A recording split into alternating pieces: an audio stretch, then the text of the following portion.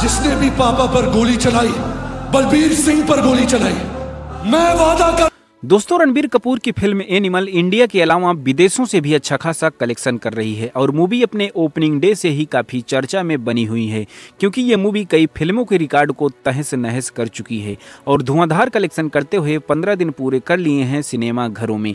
तो आज हम लोग जानेंगे कि ये मूवी इंडिया और वर्ल्ड वाइड से कितनी कमाई कर चुकी है। तो बने रहना इस वीडियो में और साथ ही साथ अगर ये वीडियो आपको पसंद आए तो प्लीज़ ये वीडियो को लाइक करके चैनल को ज़रूर सब्सक्राइब कर लेना।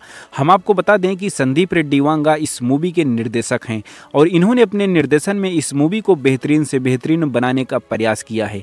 तभी तो ये मूवी ऑल इंडिया से पैसों की बारिश कर रही है और इस मूवी में हमें रणबीर कपूर के साथ रश्मिका मंदाना, बॉबी देवल अनिल कपूर, तृप्ति डिमरी अहम भूमिका में नज़र आ रहे हैं। क्राइम थ्रिलर इस मूवी को देखने के लिए ऑडियंस दो दो बार सिनेमा हॉल पहुँच रहे हैं। तो जैसा कि आप जानते हैं, ये मूवी अपने ओपनिंग डे पर इंडिया से तिरसठ करोड़ अस्सी लाख की कमाई की थी और अब इस मूवी को पूरे चौदह दिन हो गए हैं सिनेमा घरों में।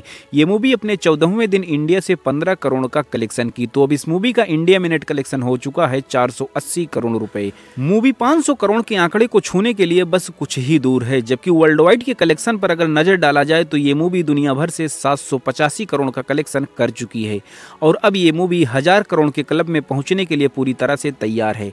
तो रणबीर कपूर की मूवी एनिमल आपको कैसी लगी कमेंट में हमें ज़रूर बताएँ। और बॉलीवुड बॉक्स ऑफ़िस से जुड़े ऐसे ही तमाम नए नए अपडेट पाने के लिए आप हमारे चैनल आरियल फिल्मोनिया को ज़रूर सब्सक्राइब करें। मिलते हैं नेक्स्ट वीडियो में, तब तक के लिए जय हिंद, जय भारत।